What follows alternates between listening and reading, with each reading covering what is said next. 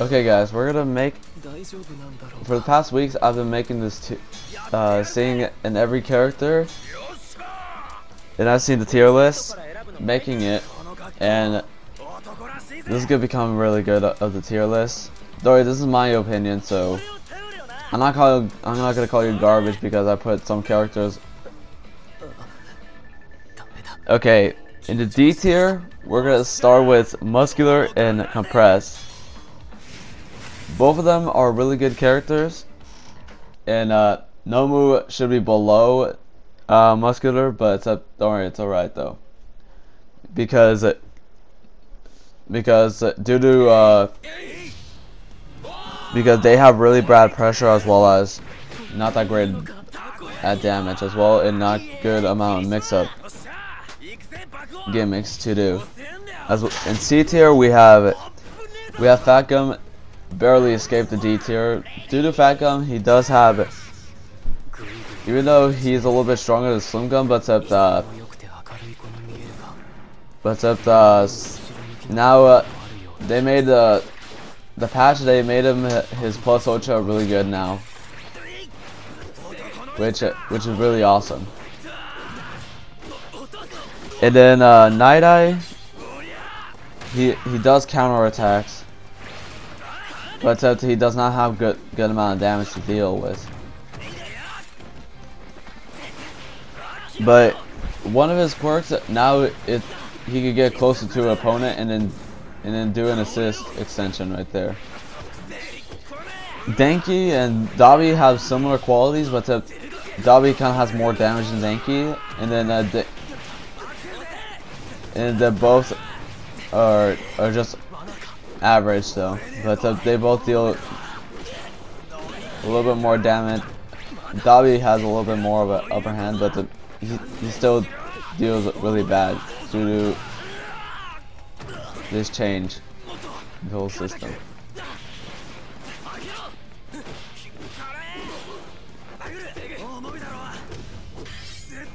And we have the characters in in B tier, which I'm gonna explain a lot of things here. At the bottom of the beats here, we have we have Overhaul version two. He he has a lot of uh, recovery on his uh, all of his uh, quirks, which uh literally if you block all of his attacks, then that means that means you can punch him back.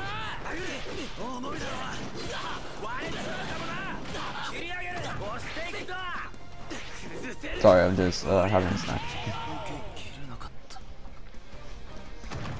Okay, due yeah, to he's really slow, which uh, he does not deal a really good amount of damage. For and then we have Sue, which uh, she does have a gravity reset, which it can make you really make a difference in his in his attacks, in her attacks. Sorry about that. And then and then uh, her gravity reset is better than Tamaki's, but uh, in a different way though.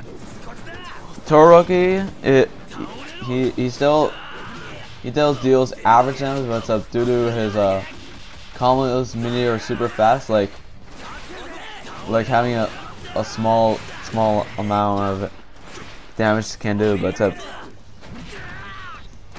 but uh, his jab is really bad. And then and then uh, he deals a good amount of damage, but that's yeah. Uh, we have Tokoyami fall, uh, falling behind Todoroki, but uh,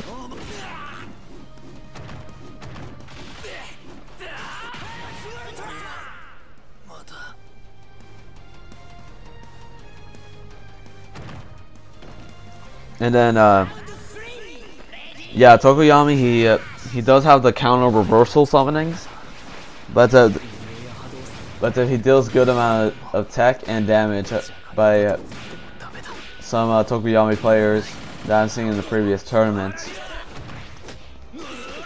accidentally put uh, Rappa uh, and and the Kirishima and accidentally uh, put them in the wrong place, but it's Uh, the next was supposed to be uh, Mei Hatsume, but too bad uh, my friend didn't uh, put put Mei in there. But she is super technical to play as. But I'm just gonna say that she she is really hard to play as because even though it's kind of technical, but the, the damage is lacking in in certain departments of her abilities. We have Gang Orca, which literally he does a lot of armor attacks, like the counter attacks as in like yellow attacks, basically. Which uh, which is really good because Gang Orca kind of has gained a buff, like for some reason, like it, I think it's like a, a less visual noise or something that causes really good damage on on his part. And then and then we have Stain, which he's a balanced character, but his other abilities are below average. Rappa, he does deal great amount of damage, and but he he's not good for zone, uh, defeating zoners at all. And then uh, we have Uraka Ochako, which uh, she lost her her uh, her loops that that could actually kill you. And then and then uh, her red attack is like really good though. It's one of the deadliest ones. And we have the middle uh, tier, which All Might and All for One are considered balanced characters. One has the quality of of counter zoning, and the other one has zoning options. Like All Might can go through projectiles, and then All for One can bring people closer to you. Or okay, counter zoning options. And then uh, we we have uh, Nejire, which uh, she's a she does have a little bit of, uh, below average damage. And then uh, she does have her combos take a little too long, but it's, she's alright though.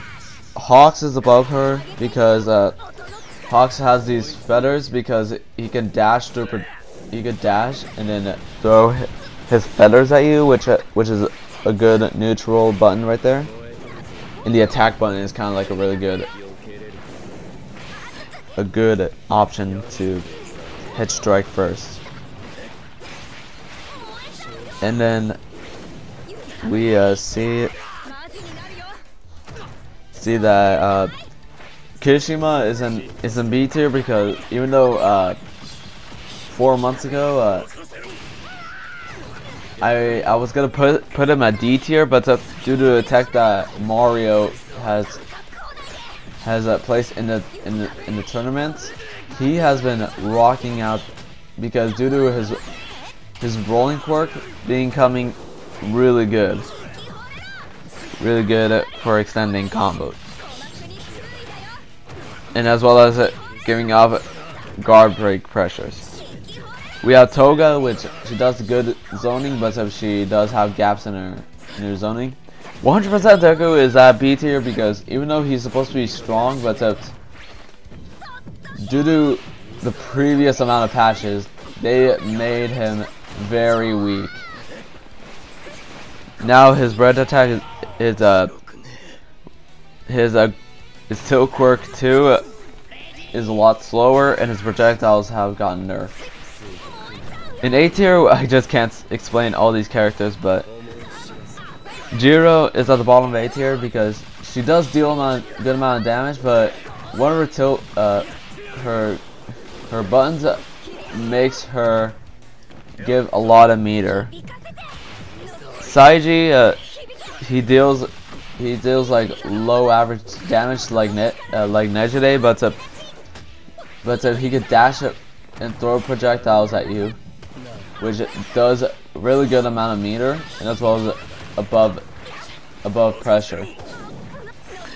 Tomura, uh, the new uh, Shigaraki has like new, like he, he does have a new uh, counter pro projectile. Like it's kind of like a counter, like the the projectile goes to the ground and then and then he deals more than half of your health bar if he if the player play him right. Tamaki Amajiki, he's got he's really uh, good, but he does have a lot of nerfs. But Camie, she does have a, have a good good amount of wake up pressures, but it's all he's she's also the same exact as Tomura Shigaraki.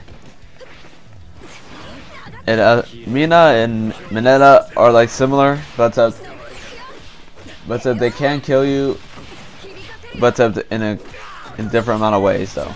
Momo, she does really good damage. She's the same damage as the new Shigaraki, but uh, she does have Oki as Camie. Both uh, Chisaki and or Overhaul and and Endeavor have great have are good zoners, but have but have a very different amount amount of options. Mirio is kind of good counter zoning, but uh, but uh, if you have meter, then that means he's a good character though. But I personally sometimes can get up to different amounts of damage. And uh, Aizawa does not deal good amount of damage, but no, uh, not good. He does not deal well with zoners. Zonings is is not in his uh, favor. Which even though his uh, erasing quirk is one of the best tricks in the game, uh, twice he does have a really high mobility, aka like he does have really high speeds, but not really uh, good uh, good with tech. And then we have we have regular base Deku, which he's a really good character. And then we have Iida. He, he does have a lot of block strings which causes him to extend a little bit more. But we have two characters on S tier. We have Bakugo and Gran Torino. These two characters are insane tech monsters in the whole entire game because Bakugo has like the he does have a lot of speed and Gran Torino can kill you 75% of your health. Yeah, and I want to show off this picture of Oma in Oh, for